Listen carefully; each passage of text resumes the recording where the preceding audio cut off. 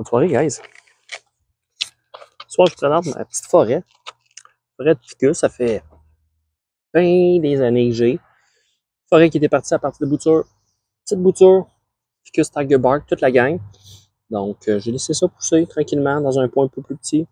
À un moment donné, j'ai grossi le pot, grossi la forêt, rajouté quelques arbres.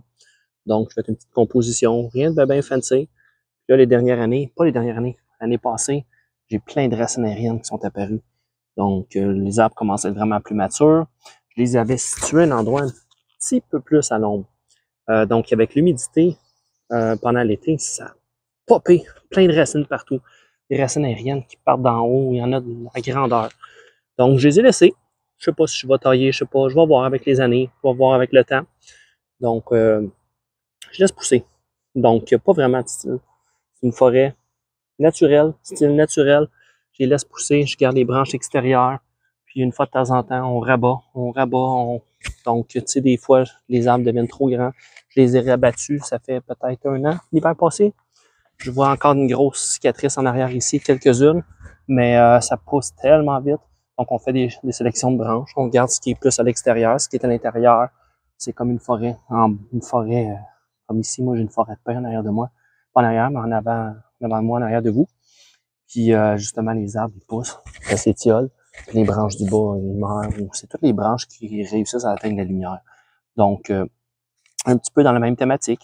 On laisse pousser, on regarde ce qui est à l'extérieur, puis on laisse pousser. Quand il y a des, tiges qui sortent vers l'intérieur, j'y coupe, puis je garde ce qui est à l'extérieur depuis des années. Puis euh, c'est ça, c'est juste une petite présentation ce soir. Je voulais vous montrer ça. Donc, comment c'est intéressant. Je sais pas quel âge qu'elle a, mais ça doit faire, d'après moi, un 20 ans que ça. Donc, le projet, il est parti, euh, la forêt a été faite peut-être là, peut-être ça, 18-20 ans d'après moi. Donc, c'est tout des parties des petites boutures. Donc, ça fait quelque chose de quand même assez popé. Il y a moyen d'avoir de, des troncs plus gros que ça, si on veut. On peut laisser aller nos arbres un peu plus. Donc, quand ils sont petits, on les laisse pousser un peu plus.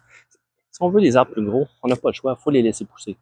Donc, euh, moi, c'était parti des, petites boutures, des, petites affaires, des choses comme ça ici. Là. Juste une petite branche de même, tu les laisses pousser individuellement, un an ou deux, puis tu les plantes ensemble, tu laisses pousser, puis comme on dit, on verra.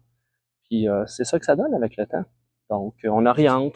De temps en temps, j'ai étiré des troncs, mis des pour les déplacer un petit peu. Il y en avait qui étaient trop collés, je les ai distancés un petit peu. On met des un bout de branche. On accote ça, on repousse tranquillement puis ça se place, puis avec le temps, ben c'est ça que ça donne. Donc, c'était mon petit partage du jour. Donc, sur ce, bonne fin de journée.